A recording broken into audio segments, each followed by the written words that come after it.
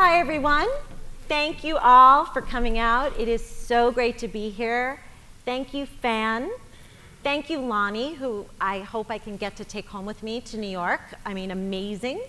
Um, it is so, so good to be here today. And I just wanted to say, as a native New Yorker, originally from Queens, um, and living in Manhattan, the heart of the city right now, I have to say that Chicago is so wonderful, I'm ready to move.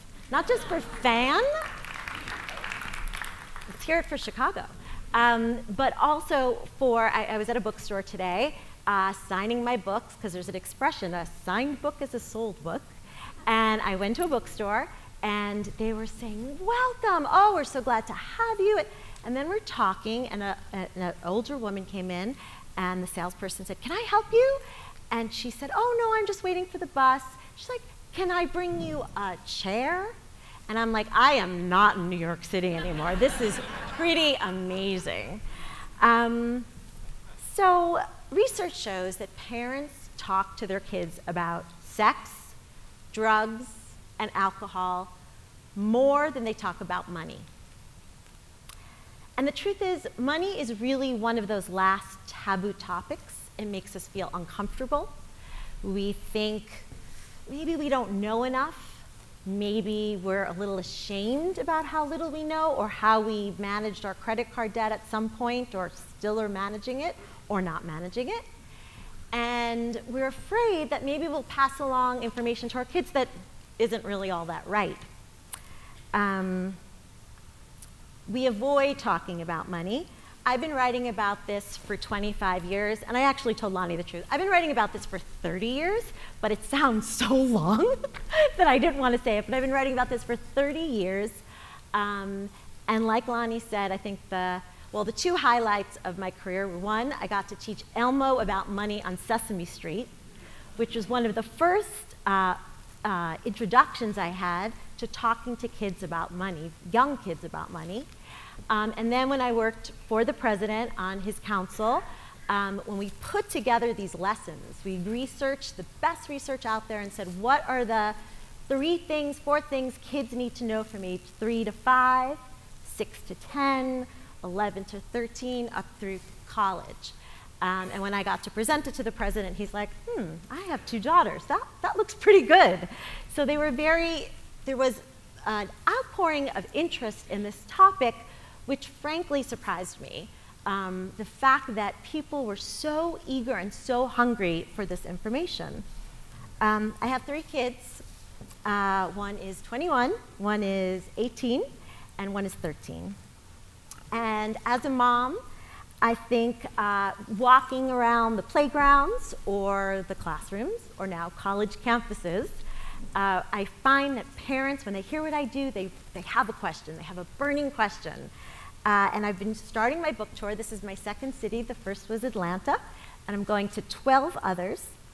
And so, what I wanted to do was sort of pull together the questions I've been hearing the most uh, just in the last few cities and on interviews. So, I put together the top eight questions. Um, these are uh, more, there are many more in my book, but I wanted to start with these eight. So, let me just grab some water and we'll begin. And when we're done, I'm most I'm interested, I'm interested in your questions. So, first off, what age should you talk, start talking to your kid about money? Research shows, actually, I talked to a parent whose kid goes to University of Wisconsin. Well, they have an amazing behavioral economics department. And research shows that kids by the age of three, understand some really basic money concepts. They understand exchange. You give money for something, you get something back. They also understand the concept of value. Things have value. And by age seven, Cambridge University found that children are somewhat fixed in many of the key money behaviors. So that's a little terrifying if you have a child who's eight and up but the good news is there are so many entry points to talk about money. Um, my editor of this book, uh, John Karp, editor of Simon & Schuster, he told me after he read the book the next day, he happened to be going to buy a car.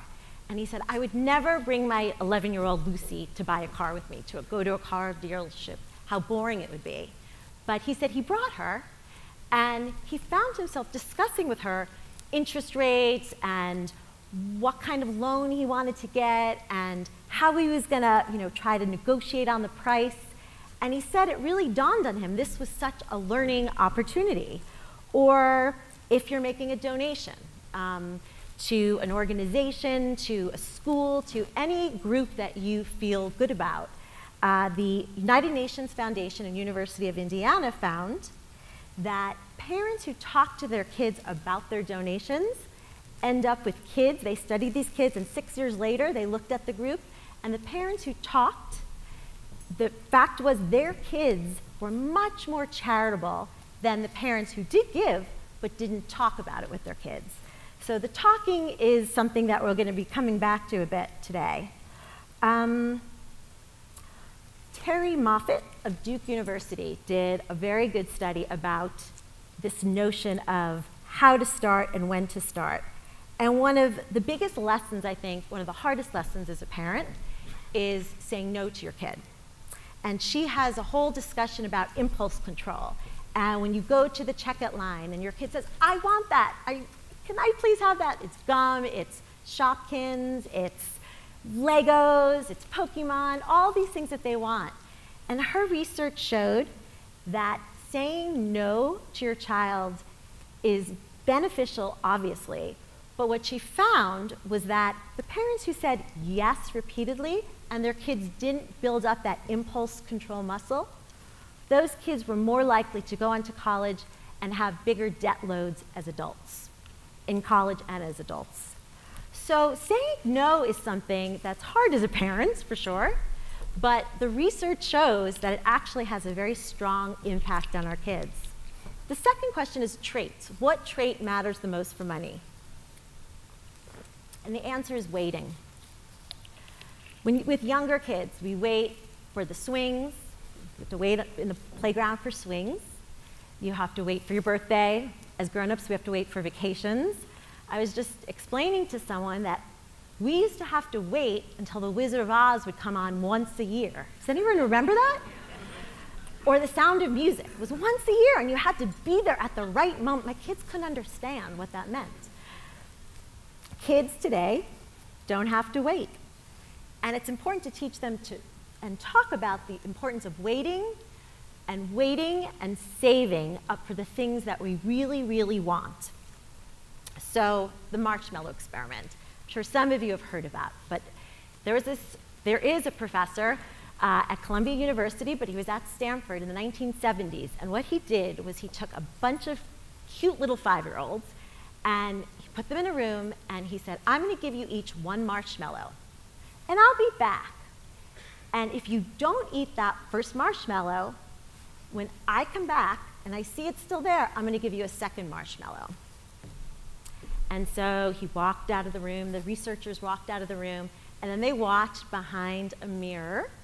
I don't want to give these kids nightmares, but this was just an experiment that doesn't happen often. But they watched behind this two way mirror and they saw some kids, as soon as they walked out of the room, the researchers walked out of the room, the kids shoved the marshmallows in their mouth. Like, Ah, so excited to eat the marshmallow.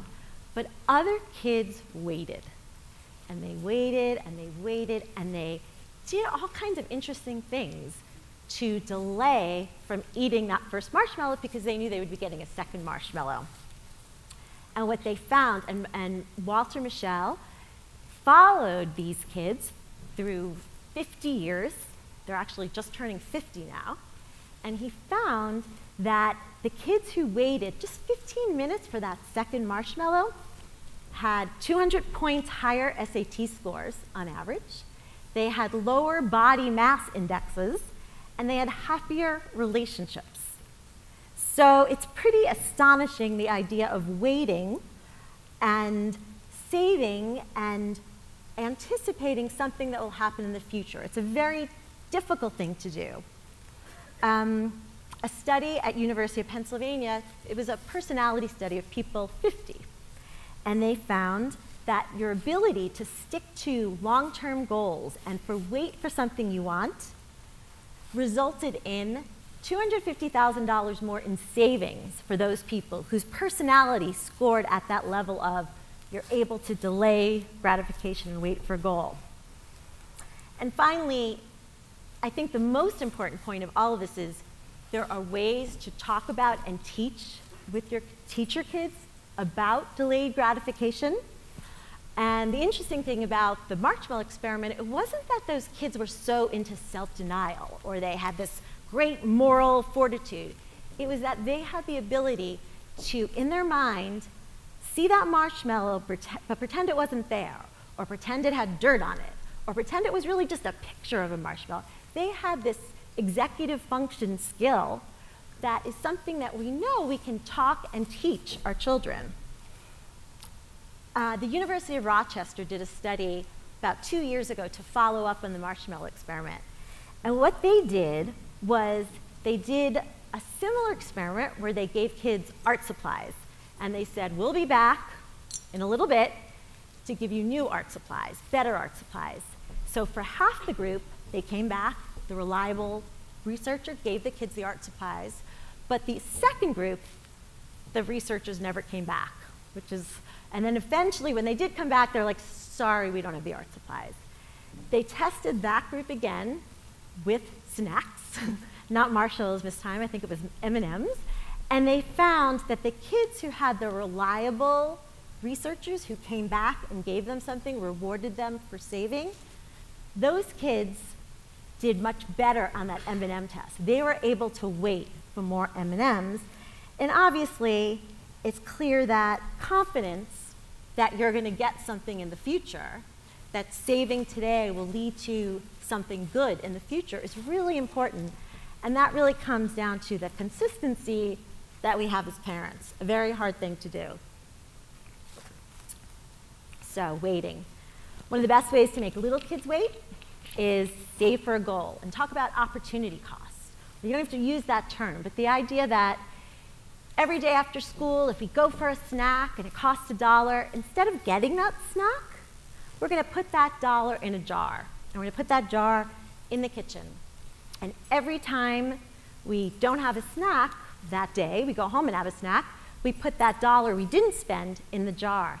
And that money builds up, and that is the money we can use to buy the things that we want. Compound interest is another great, wonderful gift you get from waiting. Compound interest is basically just you have money and it gets interest, then the next year, that interest gets interest, and the next year, and it's, that interest on interest gets interest, and it grows exponentially. And giving a kid an example, using numbers we know, helps. Even if a kid isn't interested in math, you say, you know what? If you save 25 cents a day, starting at age 10, that money was invested. By the time you're ready to stop working, you'd have $50,000 just from a quarter day. And finally, matching is something parents can do. Uh, someone was telling me here earlier that they have a matching plan with their child, and it's a great incentivizer for saying every dollar you save, I'll put in 50 cents or a dollar. Kids really respond to that type of thing, and it makes that waiting maybe a little bit easier. All right, question three allowance. Everybody wants to know what's the deal with allowance. I have been talking about this and hearing about it for literally 30 years. Um, I think there's no topic that, you know, for a lot of parents that really stresses them out. They're like, ah, oh, we started an allowance system in January, and then we forgot to give it to our kids by February, and then our kids forgot to ask, and it was sort of a mess. I think that talking, um, looking at that, I, did, I looked into about a dozen studies that were done and they were international. And the bottom line with allowance, whether they were done in the US or done, that there is no right answer. Allowance is, doesn't really matter whether you give a set allowance to your child or not. For example, in Canada, they did a study and they found yes, giving allowance to a child ended up instilling responsibility in your child. Then a study in British Columbia showed giving allowance to your child, no, is bad because it caused them to be entitled. So the bottom line there is giving allowance isn't a gold standard. It's not the holy grail of being a personal finance, great personal finance parent. But it really does matter, first off, if you decide you do want to give allowance, and there's nothing wrong with it, it's just not the absolute end all and be all. If you do want to give allowance, the sort of general rule of thumb, and you've probably heard this, is give your kids age, although a lot of parents bristle at that one because if your kid is, you know, 10 years old, you're talking about giving them $520 a year. That, that sounds like we all would like, you know, someone to hand us $520 a year. But if you decide to give half of that, whatever, the most important thing with allowance is make sure you follow the five C's. You want to give cash to your kids. There are a lot of apps and websites. And the problem is, if you're sort of transferring funds from your account to your kid's account, they don't see it. They don't really understand what's going on. You want to be clear and that really comes down to what is that money going to be used for? And that's the hard part with allowance, right? So if you give your kid very little money, they really can't buy all that much today.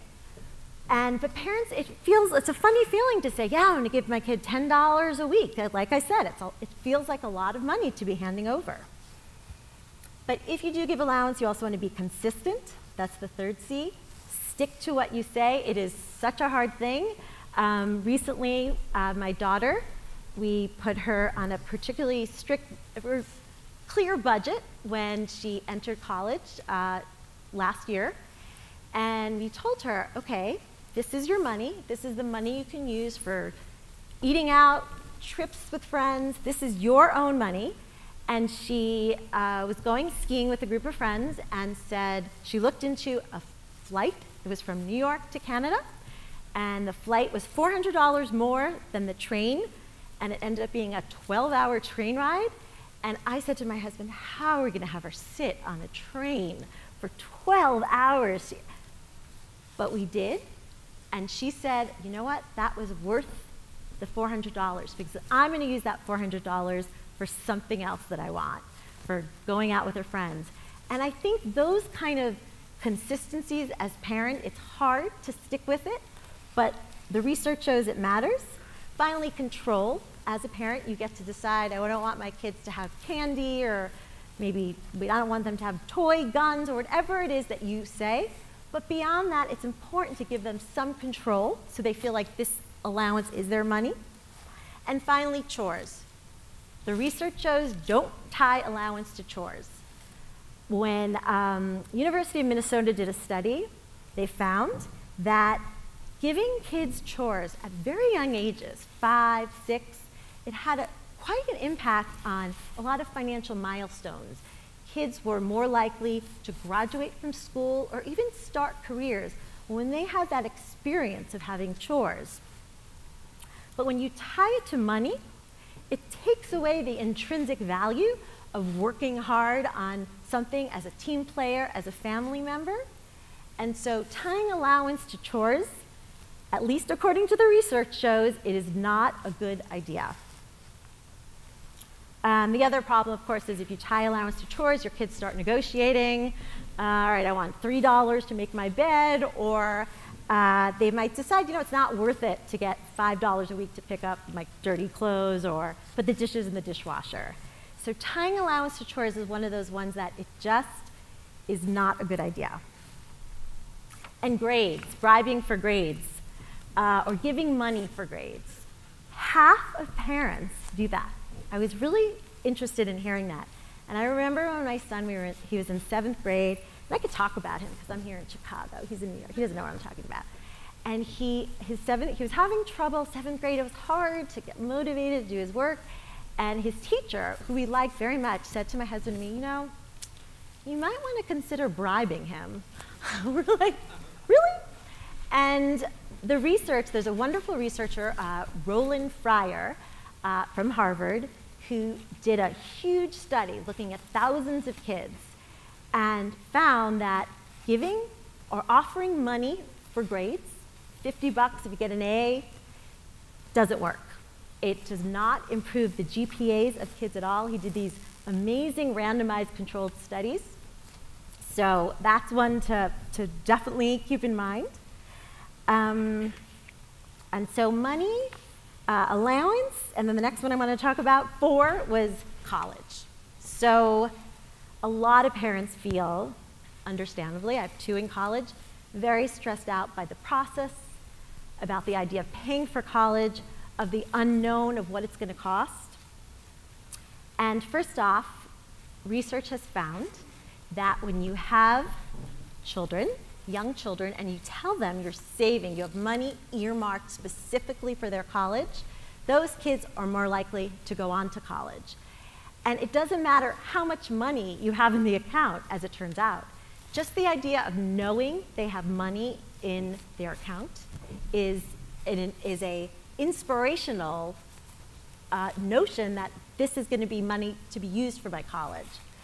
Um, and telling kids the facts that going to college, and starting talking about this young, going to college means on average you will earn 300, from 300,000 to a million dollars more over your lifetime.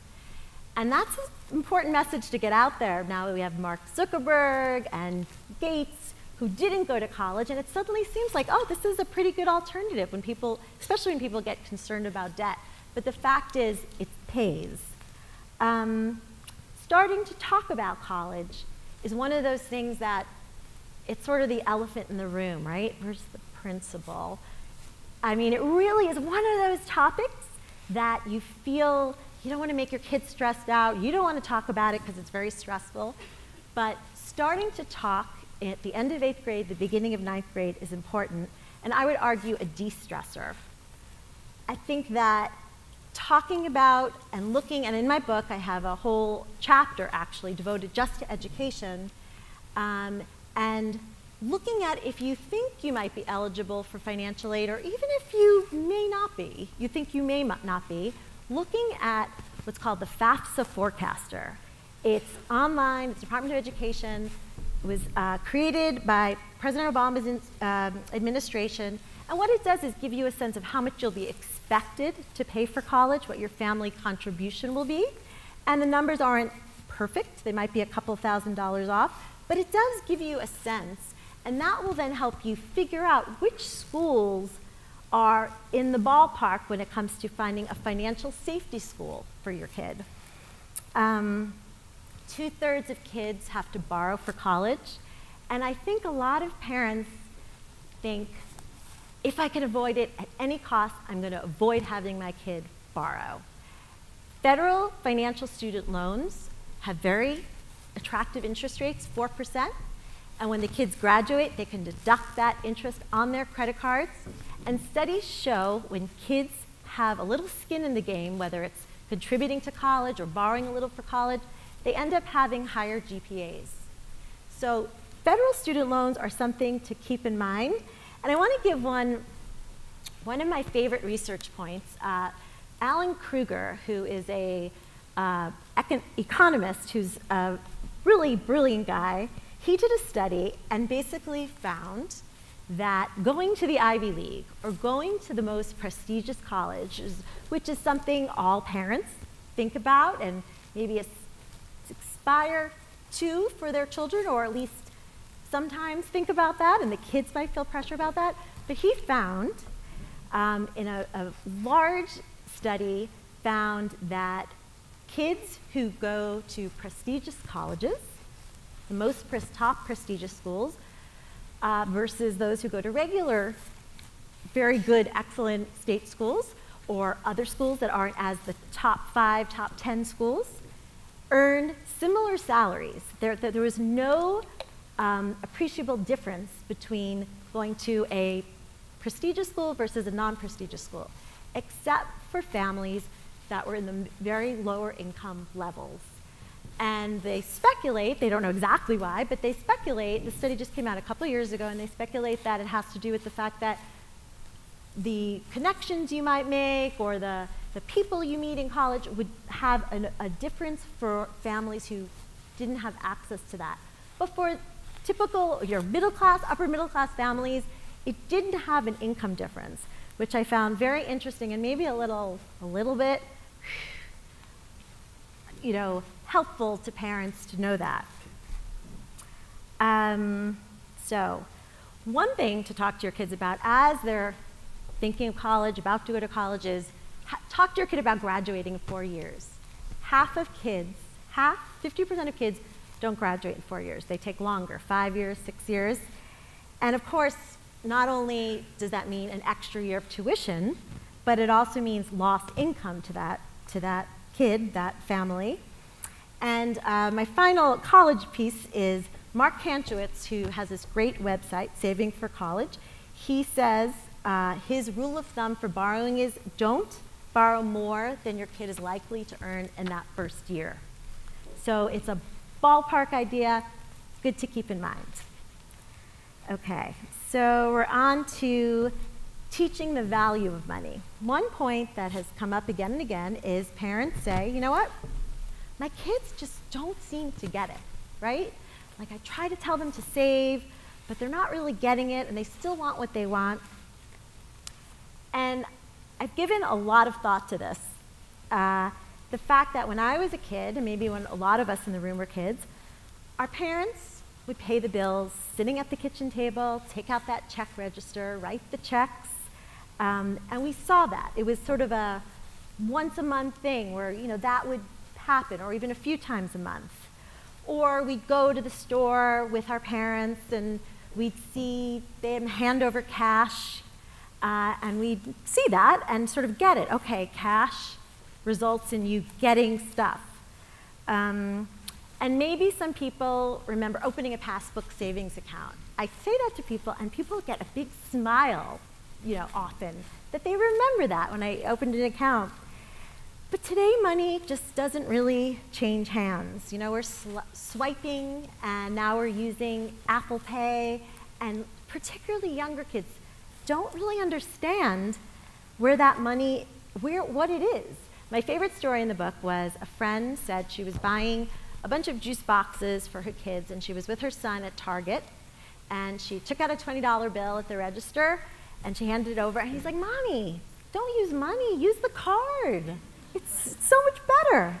Um, we know, MIT did a study years ago, showed that people spend twice as much when they use plastic, whether it's credit cards or debit cards, than when they use cash. And that's attributed to this phenomenon, the pay of, pain of paying. When you have to take out your wallet and start handing over bills, it's a little harder, right? It just, it's a, a and it's a phenomenon that is known. Um, and I, again, I think of this story of my, my daughter when she headed off to college, and I started working on this book. I asked some of her friends' parents, like, tell me what, what's the issue in college? And three moms told me the same story. Uh, two daughters and one son, same story. Called up the parents and say, oh my gosh, my card has been hacked. And their parents, what do you mean it's been hacked? yeah, my debit card, there's no money left in my bank account. And okay, let's go over this. And each mom said, they said, all right, let's think this through. Let's talk about what's on the, the bill. Pull out the bill, let's talk about it. Oh, yeah, I did go to DC to visit friends on the Am Amtrak train. Or I did eat out with some friends for dinner. And suddenly it's coming back to them that swiping card actually meant that they were spending money. These are kids who are so smart. These are kids who took like AP physics, AP calculus, but they didn't get the fact that money was being siphoned out of this account. So my advice, particularly for younger kids and kids up through, I'd say, high school, is make them use cash. This did not win my daughter a lot of friends in high school, or she felt embarrassed in high school. The first time she said, she wanted to go to the mall with friends. Um, it was sort of like in Manhattan, there's one sort of small kind of mall-like area, and we are very overprotective. We said, okay, but I said to her, you have to take cash. And she's like, but all my friends, they all have credit cards. They have cards, that's their parents' card, and the parents just handed it to them, or debit cards. And we talked about it, and I said, you know, it's so important if I give you $50, this is sort of spending for beginning of the year, school clothes, and she was in high school, and something caught, you know, she has a few items and it costs $54, she's going to have to put something back. And when you hand a kid a card, whether it's a debit card or a credit card, they're just charging it, and if it's a little bit over, who's going to say anything? And I think that is something that's fundamentally different about this generation of kids versus our generation of kids. Um, the one thing is, uh, in 2009, President Obama passed the CARD Act.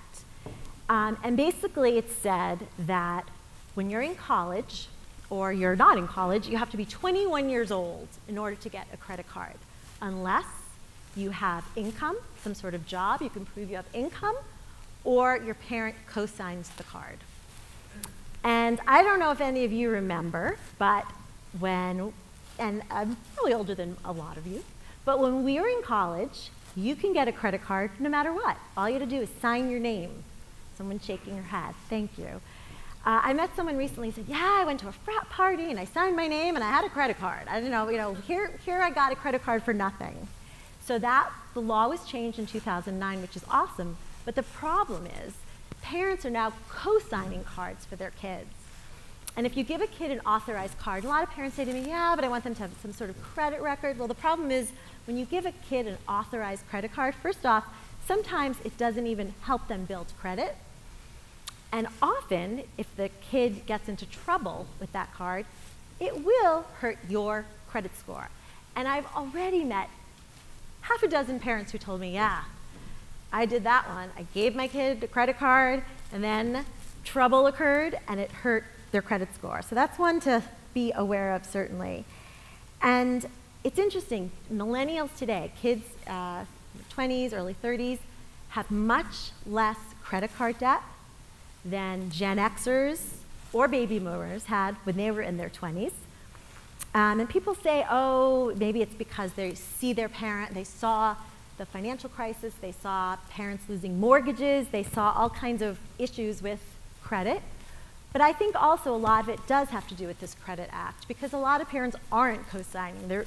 It's a problem when they do, but a lot of parents aren't, and I think that's a good thing.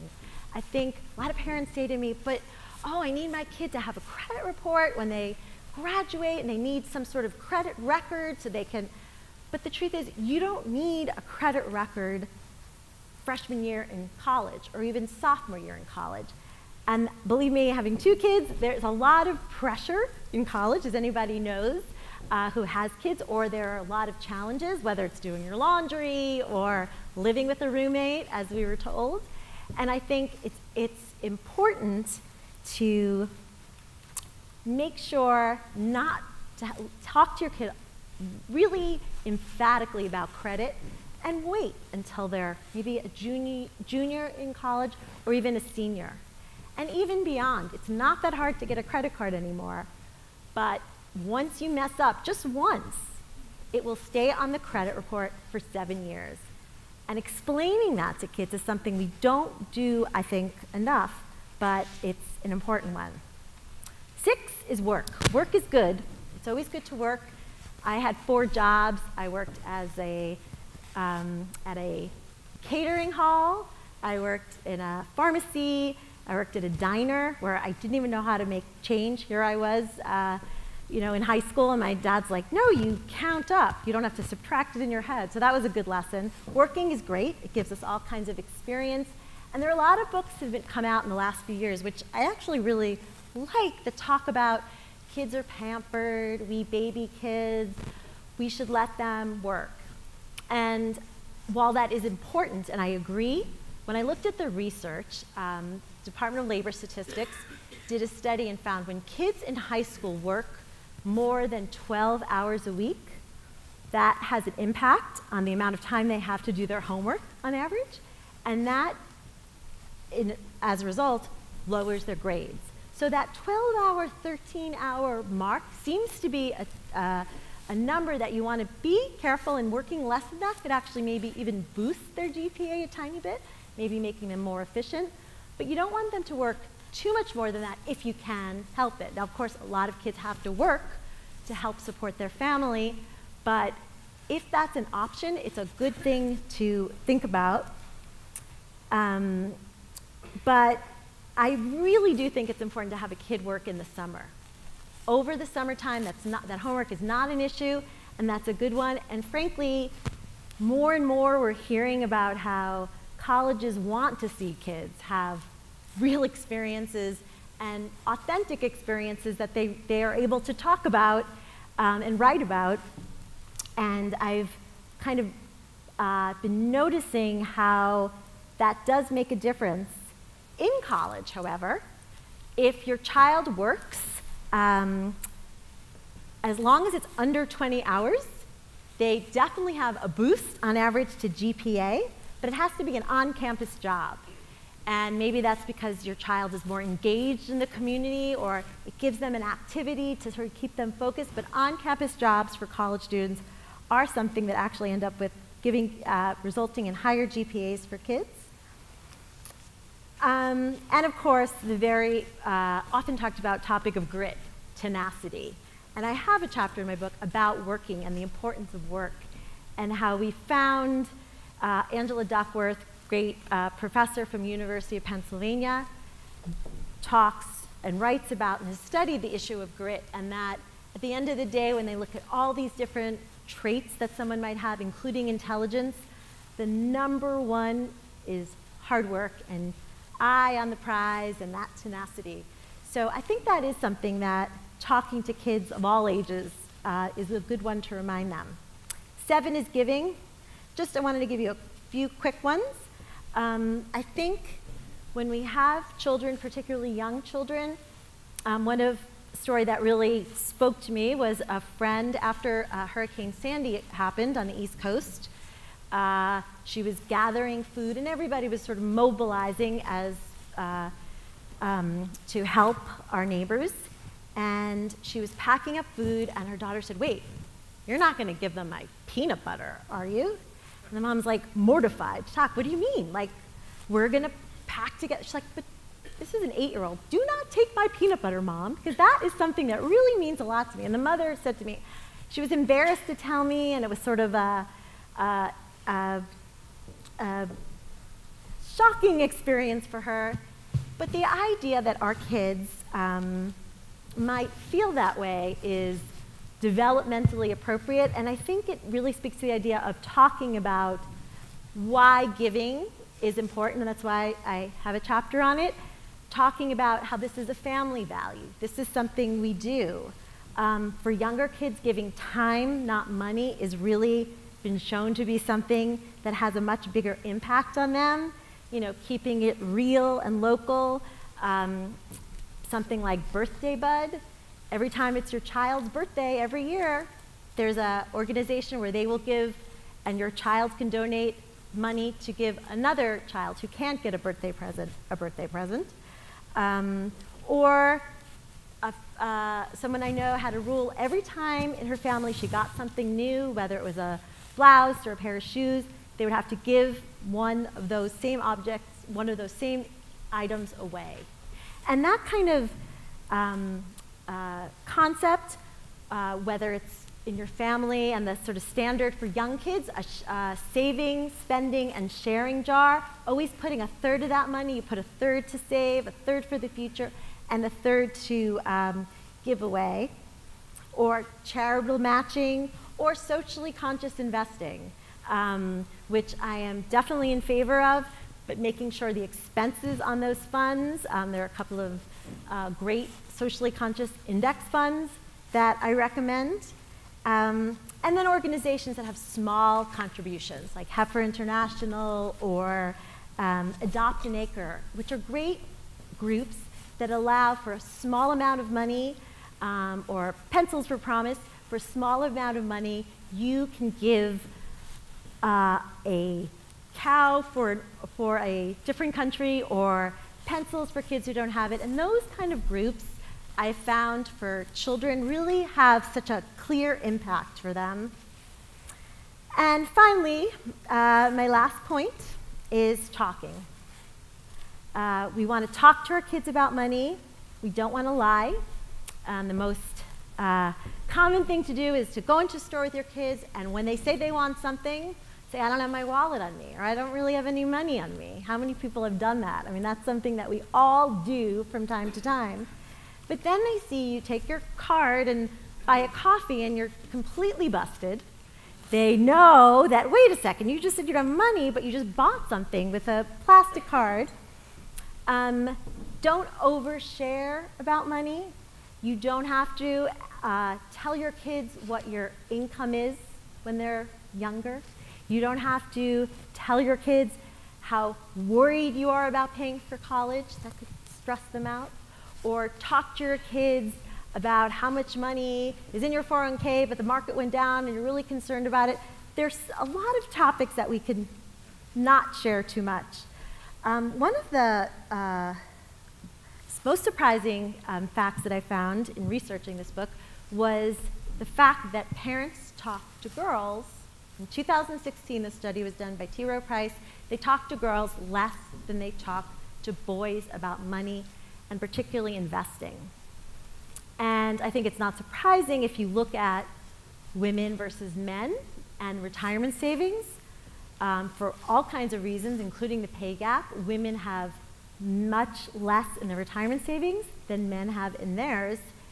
But I really think that part of that has to do with the fact that we're just not talking to girls. We're not explaining in the same way we do to boys. Um, I had someone come to my office the other day, and he's a very progressive guy and started this amazing organization to help children. And when he, he came in, he said, You know, I read that paragraph in your book, and I thought, wait a second, I have a girl and a boy, and I realized I always tease my daughter about how she loves to shop. When it comes to my son, we talk about the stock market and how it's doing. So I think being aware of that, even in now 2017, is an important thing. Um, and I think the notion of not expecting your kids to have money skills just because you give them money is one of the biggest takeaways for me um, in that it feels like driver's ed. If you put your kid in a car and you never taught them and they never had a lesson, how is that going to work out? And I think the same is true for money um, when it comes to talking. Um, I talk about this in our family a lot simply because it's what I've done my whole adult life. And my kids have often come to my talk, and the day I thought maybe I'd talk about it too much is when my son Adam, who's 18 now, we're putting him to bed. Actually, my husband was putting him into bed, and he looked up at my husband. He's like, Daddy, I have to ask you a question. My husband thought, oh, like where are babies from? What's the meaning of life? And he's like, how do I get higher compound interest? And my husband's like, ask mommy, I don't want to talk about it. And so I came in and told him. And, um, and when I worked on Sesame Street to teach Elmo about money, which was by far the most fun thing, what they, the Sesame Street Workshop did um, a research, an impact study after the show that was um, on a, um, it was distributed both online, and they were able to test a group of people who watched the show with their kids and sat and talked about the topics and were given materials to discuss with their kids, little kids, you know, four, five year olds, and another group who didn't. And they found the people who watched the show and talked about it with their kids, not only did their kids get something out of it, but the parents actually saved more money. So there was a comparison and the notion that when you're teaching your kids, you're also teaching yourself. Um, and I just wanted to wrap up and start taking questions. The correlation between, and this is something, my dad, who's 87, uh, when I was giving a talk, he stood up and he, he sort of made a little speech. And I wrote down exactly what he said that the correlation between what you do now and what your kids' lifestyle will be is critical um, when I was younger, my dad, a, he was a principal, and my mom was a stay at home mom. And he loves to tell the story. It was 1969, and he came home and said to my mom, Shirley, my dad is Harold, and he, said, Shirley, we have to put, we're able to put 50% of our income into a retirement savings plan. New York City introduced this plan, and he was all excited, and my mom said, Harold, what are you, crazy? We have three kids, we have a mortgage. How can I put half of my salary, you earn $30,000, how can I put half of it away um, when we have three kids? And she said, We can't afford it. And my dad said, We can't afford not to do it. And that kind of discussion and talk about money was so prevalent for me. And two final quick stories about my parents. One, I realized very recently, mom passed away this summer, um, and I thought about her and I was like, wow, she was the original arbitrager. She was the original arbitrager in that she was a stay at home mom, but she would only shop for things at Waldbaum's grocery store if it was triple coupon day. So you get 10% off on, say, uh, toweling, paper towel. And she, actually, you know what, we didn't even use paper towels. She thought that was sort of too luxurious. We used uh, cloth towels. But if it were tuna fish, she would buy, she would, when it was a sale, she would only buy it when it's triple coupon day, 30% off, and then she would buy it in bulk. So we would have like literally 100 cans of tuna fish in our basement because you got such a big discount from it. And then you'd get coupons for shopping in the supermarket, and she would use those coupons to get glassware and plates. It was sort of free, uh, like trading stamps, so you'd use for glassware and plates. And I realized just recently that Waldbaum's, the supermarket, was paying my mom to shop there. That, that her ability to sort of think through all these possibilities is something that I think um, really had an impact on me. And my final one is my dad, who is 87, still walks around his, now it's a food emporium, and passes out, he asked me to make flyers about my book. He passes them out to clerks, and if a clerk is nice, he'll give a clerk a, you know, a flyer. And if he really likes someone, he'll give them actually a copy of my book, which is probably why it's doing so well, and um, truth be told. And he'd give them a, a copy of the book, and he would say that often, not only did he get the freshest soy milk in the back because they liked my dad for giving them the book, but they would say, Thank you for teaching me the secrets. I didn't grow up hearing about this. And it meant so much to him as an educator and also meant so much to me. And I realized that's why I decided to write this book. And I look forward to sharing these secrets with all of you. Um, and I also look forward to meeting you all at the book signing. So thank you. Thank you so much.